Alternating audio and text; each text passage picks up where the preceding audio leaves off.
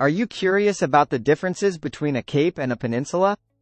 Well, look no further, because today we will explore eight key distinctions between these two geological formations.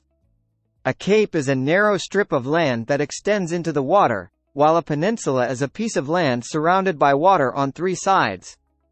Capes are usually curved or hook-shaped, while peninsulas can have various shapes including straight, concave, or even triangular.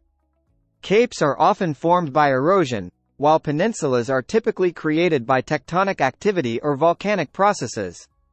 Capes are often known for their dramatic cliffs and rocky shorelines, providing a stunning scenery, whereas peninsulas may have more diverse landscapes including beaches, hills, and forests.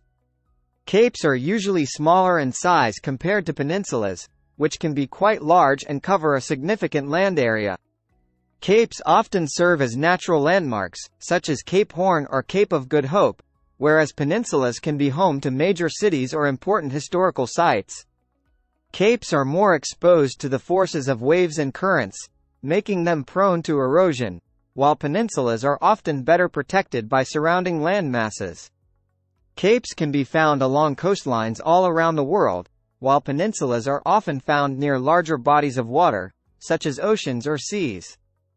Capes are known for their role in navigation, as they can provide shelter and serve as markers for ships, whereas peninsulas can offer recreational activities like boating, fishing, or relaxing on the beach.